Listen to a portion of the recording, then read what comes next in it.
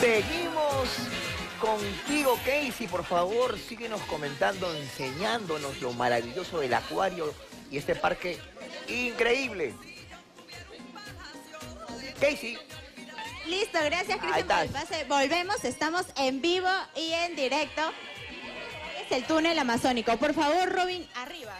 Vamos a ver en la parte superior cómo los peces también se encuentran en la superficie, porque este túnel lo han acoplado también para que niños y adultos vengan si no tienen la oportunidad de viajar a la Amazonía. Por supuesto, nos sumergimos dentro de un Amazonas, uno tan diverso, donde pueden encontrar hasta 98 especies distintas. El Parque de la Imaginación tiene una colección muy, muy grande, pero con eso la responsabilidad de difundir esta gran diversidad amazónica. Por aquí, por ejemplo, tenemos al pez paco, uno de los más eh, distribuidos en todo el Amazonas en estos tres países.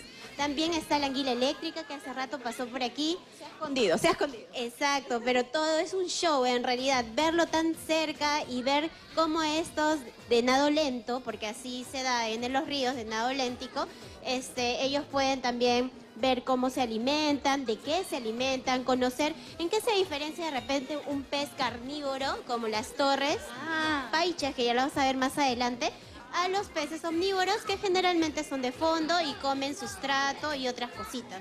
Miren, por aquí tenemos a la anguila, ¿verdad? Ahí se trata de una especie eh, muy, muy peligrosa. Ellas tienen unas células especiales eh, en todo el cuerpo, en su piel, los electrocitos, que es un mecanismo de defensa como un buen depredador tener para alimentarse en la naturaleza. Sin embargo, eh, cuando tenemos las condiciones controladas y esta anguila no, no hace uso de ese gran, gran poder, porque no es necesario en esta comunidad, ¿no? ¿Y puede convivir en normalidad con las diferentes especies? Sí, por supuesto, por aquí también hay mantarrayas, ahorita están como descansando porque también tienen ciertos horarios y se vuelven más activas con respecto a las experiencias de alimentación, al cual también invitamos al público para que conecte, porque muchos de ellos no solo vienen del sector Lima, sino también de interiores del país. y por ahí es que reconocen tal vez con otros nombres y nosotros obviamente abiertos a recibir cualquier este o, eh, más información que nos pueda ayudar a, divulgar con nuestros próximos visitantes, ¿no? Ajá, pero también he visto que por este lado hay muchas más especies. Acompáñenos, por favor. Estamos en vivo para Apréndete en Panamericana Televisión. Ya sabe, ceñito, si no sabe a dónde llevar a su hijo, este es el lugar indicado. Acá tenemos una gran cantidad de niños que han venido siendo martes a visitar el parque Sí, es una práctica bastante interactiva, nuestra, nuestro estanque de carpas koi. Estos peces, por ejemplo, son ornamentales, no son propios de nuestro país, ¿no? Y lo interesante de aquí está que es que podemos mostrar esta diversidad también educando a los chicos, enseñándoles que parte del bienestar de ellos es saber eh, identificar el alimento correcto, el espacio que necesitan y la experiencia de verlos cerca, ¿no? Verlos vivir muy bien, muy gorditos y muy sanos. Y miren, por este lado, si es que se puede ver, hay una máquina que con un sol puedes comprar comida para los pececitos, ¿no? Que todos los niños aquí ingresan su moneda. Por ejemplo, en estos momentos una pequeña va a ingresar su moneda para que le pueda dar la alimentación correcta a cada uno de estos animales. Ajá. Muy bien. Por este lado, ¿qué tenemos?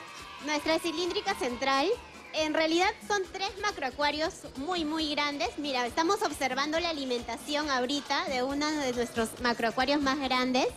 Aquí viven, por ejemplo, óscares, viven palometas y algunos también de fondo. Ahorita los vemos activos porque es su horario de alimentación y aprovechamos al público a, instruirle, a enseñarle, ¿no? Que Qué bueno que esta gran diversidad solo lo va a encontrar en el único acuario más diverso de Lima, que se trata del Parque de la Imaginación.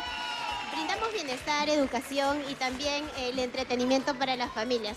Ellos, por ejemplo, los pececitos aquí ya saben cuál es su horario de comida, por así decirlo. Miren, por este lado podemos ver cómo la comida cae desde la parte superior y cada uno de ellos está en la lucha, en la lucha para conseguir el alimento deseado. Sí, pero tranquilo porque los acuaristas marcan muy bien cuando son peces de fondo, de medio y de estrato alto.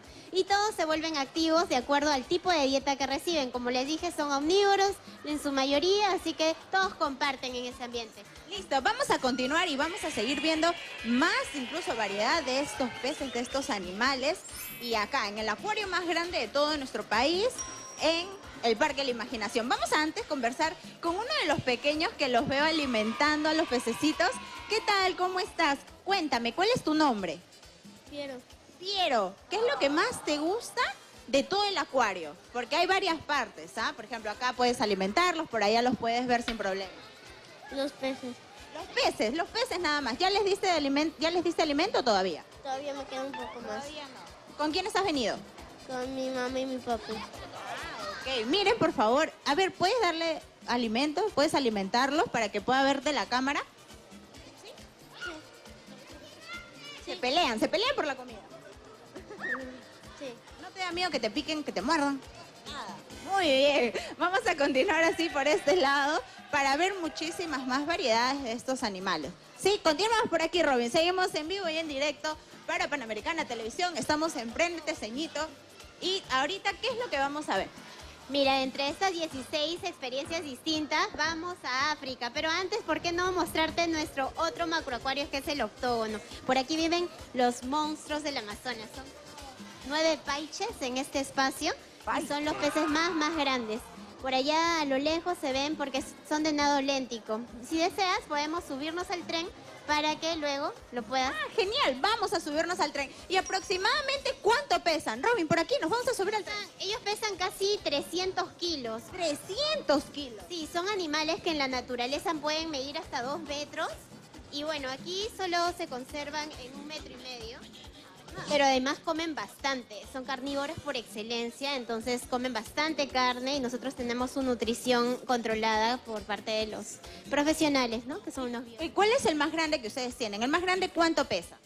El más grande, casi 350 kilos. 150 kilos. Ahorita vamos a dar un recorrido para ver por la parte superior a los peces. Eh, vamos a salir de África y luego vamos a ver a los peces más de cerca. En estos momentos en África solamente se exhiben animales de eh, la jungla de África. ¿Por qué no conocer a África salvaje dentro de una experiencia cercana a la que podría ser eh, visitar en otro continente, ¿no? Inmerse es sumergirnos en esta idea de jungla africana para conocer al rinoceronte, el elefante, las jirafas. A los niños les encanta venir a este espacio porque si bien es cierto, tal vez se ve chiquito en, en tamaño, pero es tan diverso que te da la impresión para tomarte una foto Valentina. muy, muy Una foto realista, ¿no? realista. Realista. Miren, por ahí hemos pasado por el rinoceronte y por este lado tenemos a un tigre. El Valentina. tigre de Bengala, el león de África, Rinoceronte, ¿por qué el- le dice comer? los elefantes, la- las jirafas, el cocodrilo que acabamos de pasar. Todos son a escala y el concepto mecatrónico ayuda a que puedas estar más adelante. activa la participación de los niños, sobre todo que se asustan a veces